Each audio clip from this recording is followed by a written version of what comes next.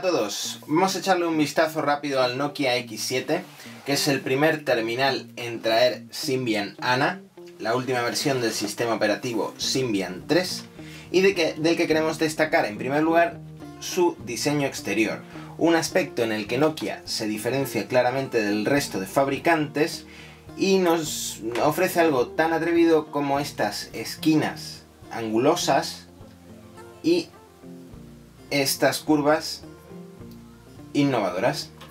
El material, algo de calidad como es el acero inoxidable, viene en dos colores. Este es el oscuro, también está en, en acero más claro.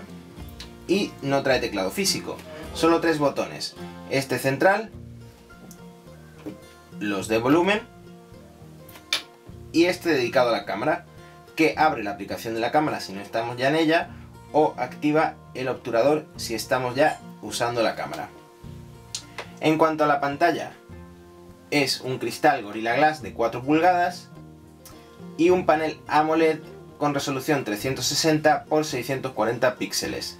No trae tecnología Clear Black Display, que es lo que introdujo el Nokia N8. En cuanto a la interfaz de Symbian Nana, tenemos aquí un Nokia C7 para comparar. Veréis cómo Nokia ha introducido cambios en la iconografía que es más fresca, menos seria en Symbian Nana con estos iconos redondeados. Mm, todos los iconos aparecen redondeados, mientras que en la versión anterior no tenían ese borde redondo, ovalado. En cuanto a funcionalidad, también mejora Symbian Nana, por ejemplo, con la versión 7.3 del navegador web de Nokia, que mejora el motor interno, que es más rápido, y algunos detalles de la interfaz, que es más intuitiva, como que por ejemplo ahora podemos usar la, barra de direcciones como buscador.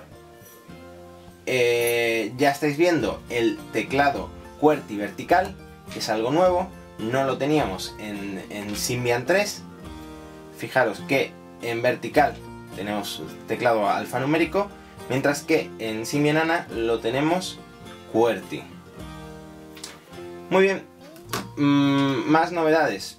Por ejemplo, podemos, tenemos mejor integración de redes sociales.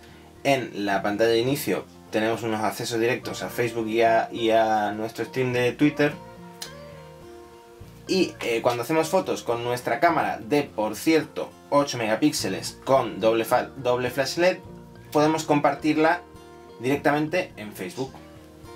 En cuanto a juegos, eh, el teléfono trae preinstalado algún que otro juego, entre ellos el Asphalt 5, que os voy a demostrar que no va del todo fino, y esto se debe a que Nokia sigue poniéndole a sus teléfonos estrella procesadores que no están a la última. En este caso es una RM11 a 680 GHz que a pesar de tener una GPU dedicada no consigue que este Asphalt 5 se mueva con tanta fluidez como lo hace en los teléfonos de gama alta de Android o en iPhone. No mucho más que contaros. El cargador es un micro USB ya universal en toda Europa. Y los auriculares que trae son estos in-ear con cancelación de ruido activa de bastante calidad. Eso es todo, espero que os haya gustado este Nokia X7 que está en el mercado por alrededor de 430 euros libre también en Yoigo y en operadores y no mucho más que contaros.